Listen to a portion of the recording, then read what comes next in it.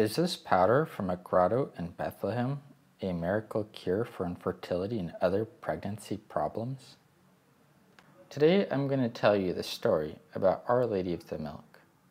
At the end of the video, I'm going to share with you some of the testimonies about this sacramental working for couples, so stick around until the end.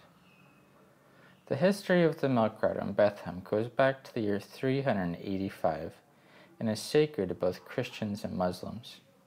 According to tradition, it is believed Mary and Joseph stopped in this cave while fleeing Herod, and a drop of Mary's milk spilled on the stone, turning it white. It is believed this also gave it special qualities to help mothers have children and produce milk.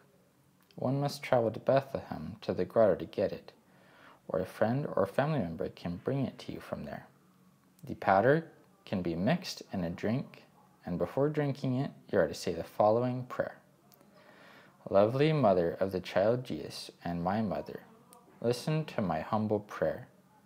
Your motherly heart knows all my desires, all my needs. Only to you, Immaculate Virgin, has your divine Son given to understand the feelings that fill my soul. Yours was sacred privilege of being mother of the Savior Intercede now with him, my dear mother, so that according to his will I may be mother or mother of other children sent by the Lord. This I ask, Lady of the Milk, in the name of your divine Son, my Lord and Redeemer. Amen. Today, there is a beautiful church built around this cave, which is cared for by the Franciscans but unfortunately, the Israel Palestine conflict has drastically reduced the number of pilgrims who go there.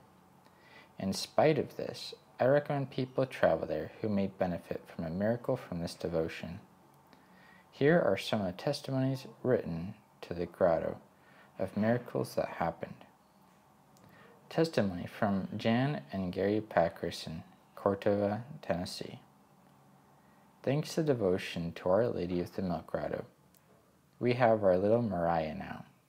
She was born March 5th, 2008. My mother went for a pilgrimage to Israel in April 2007. She sent me the devotion along with her prayers.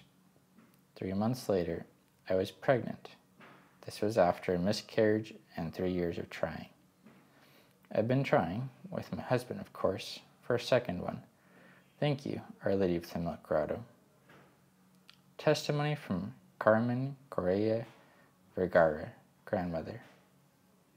I want to give thanks, as grandmother of the newborn baby, to the Lord for the miracle of motherhood obtained through the intercession of the Lady of the Milk.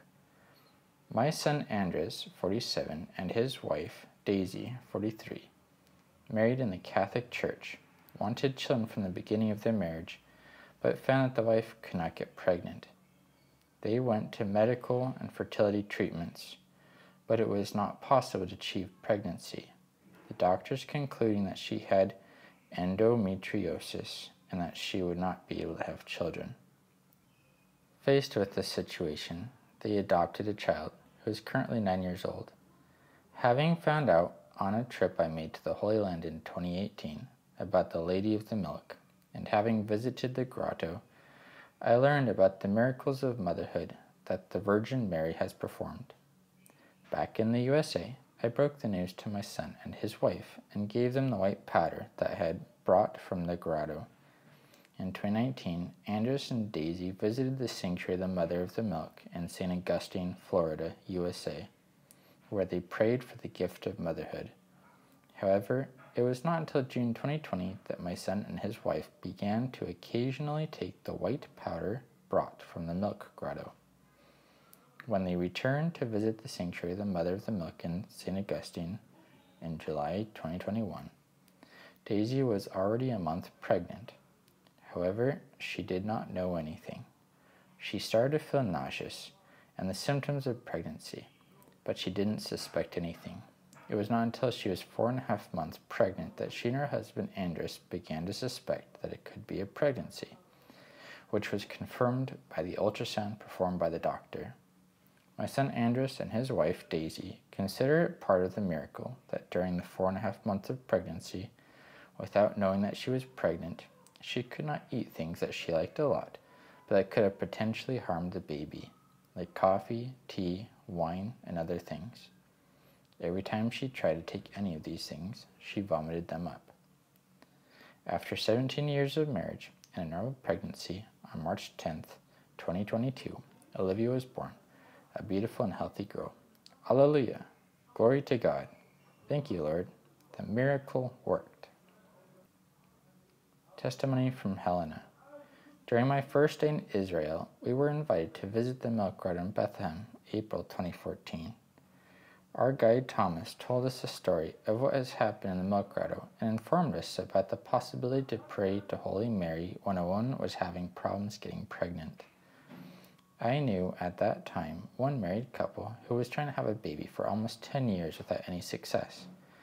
I began to pray the prayer given to me in the milk grotto. I was praying on a daily basis for this intention for them.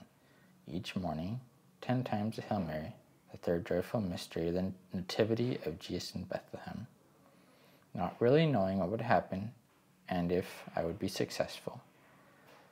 I think I am not considerable enough, but as far as we were told, many miracles have happened there, and I had seen many letters with pictures of newborns in the sacristy of the Franciscan convent. I began to pray. How big was my surprise when I met, in the autumn of 2015, my friend Petra, and she told me that she is pregnant. The small baby boy, Michael, was born on the 22nd of May 2016. I do not have enough words of thanks to the Holy Mary that my prayers were heard. I am thankful each day for the baby Michael, and so also are the parents. They are still in the position that they already believe the dream came true, but they cannot get enough of him. They are so glad to have him. It is unbelievable. Thank you, Holy Mary, for Michael. Love, Helena.